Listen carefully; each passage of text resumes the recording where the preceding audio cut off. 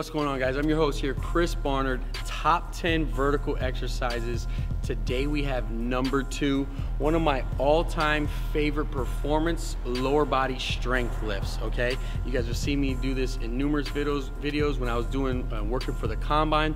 I really attribute this particular exercise to my increase in vertical when I was training lower body strength, and that is the high box squat.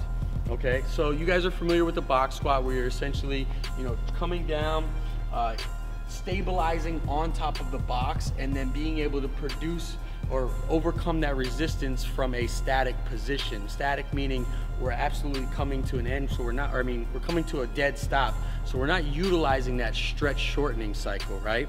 So what I, uh, what I typically like to do here um, is I, reason why I say high box is because, and the reason why I like it is for a number of reasons.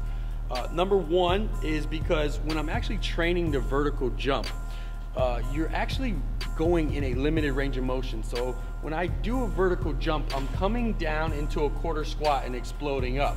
Now, I wanna mimic that same sport specific movement. So what I do is I drop down the, uh, my range of motion just a tad bit smaller, but I'm performing the same thing. If you think about it, if you look, it's just a tad bit smaller than what my actual range of motion is, and then I'm overcoming that heavy resistance.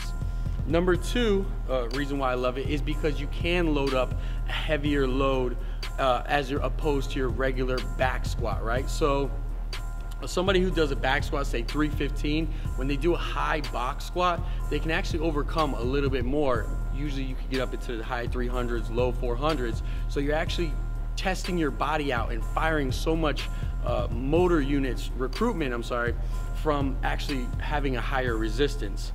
And, uh, and number three, I love training both phases of the triphasic. So there's three phases to triphasic, which is eccentric, isometric, and concentric. Well, with the high bar box squat, what you're really focusing on is you're focusing on a controlled eccentric motion, right? So when I have that heavy resistance, I have to have a really controlled eccentric motion. And through that, your, your body's actually training its stretch reflex, right? And then when I'm on the bottom of the box, right, and I produce that force going up, I'm actually training concentric which really works that rate of force development. So every time that I'm on this, on the box, I'm focusing on with that heavy load exploding up as high, as uh, fast as I possibly can.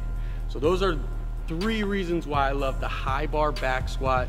I absolutely love it. Find a uh, height that's just below or just above parallel for you, but just below your range of motion that you're actually doing the vertical jump in.